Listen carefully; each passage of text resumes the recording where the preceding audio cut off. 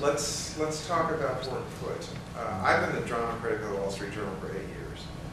And when I started this job, you didn't see plays by Horton Foote in New York.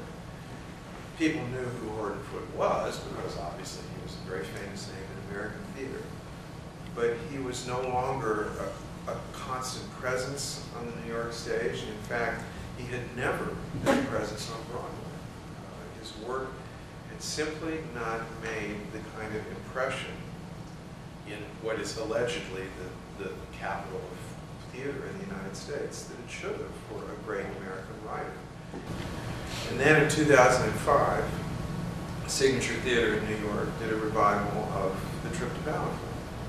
It was one of the most remarkable performances of anything I've ever seen in my life. I was in fact sitting one row ahead of Horton Foote and would have introduced myself to him. Critics aren't supposed to do that, but sometimes you do it. Except that I was so choked up that I couldn't say anything. And so I missed my chance to speak to Horton Foote. That was the trigger in New York. It led to um, dividing the estate being brought to New York, and then to the amazing feat of dividing the estate opening at Lincoln Center, bringing Horton Foote his first great Broadway success three months before his death at the age of 92. But his mother was the pianist in the Methodist Church. He went to morning and evening services. His plays are full of hymns. And so we have been every day uh, singing our hymns. There are two that turn up in the play, but we're going to learn about eight. And it will be a large part of the sound design. And uh, there's wonderful irony in the lyrics of these hymns. Nothing changes here, uh, among other things. Um, and so we've been uh, learning to sing in four parts.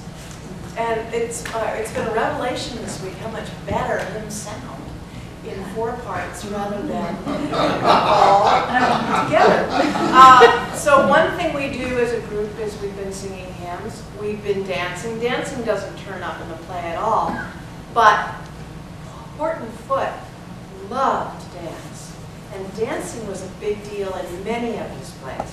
So as part of an ensemble strategy, I mean, just getting people who don't know each other to dance is uh, wonderfully interesting. We don't do that in our culture much anymore. So you have to touch each other, and when you do the, the tech, when you, when you do the two-step or whatever, you suddenly see this room of buoyant people who would never be dance partners, talking away. The other thing we've been doing a lot of is telling stories. Um, the characters telling stories about themselves, about each other, and using that as a way to uh, support the text, uh, get us backstory.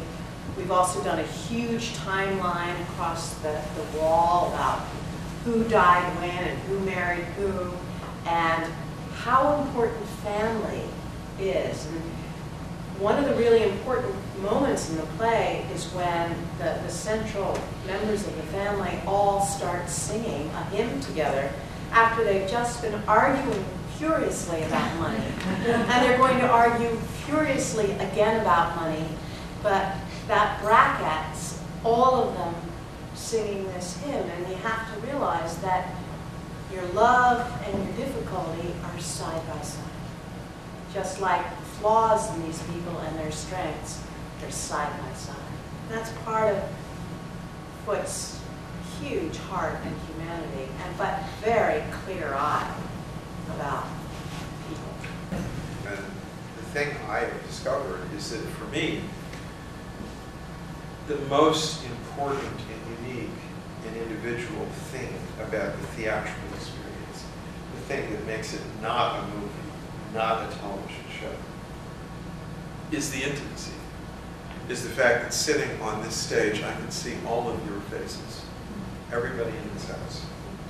Um, and you just can't get that in a Broadway theater, and obviously you don't get it in a movie house. And it is, it is the irreplaceable thing that I think is going to keep theater alive no matter what happens in the culture. Is that once people have an experience like that, once they sit in a room like this, and they see a show, and they're breathing the same air as the actors, they realize that there's nothing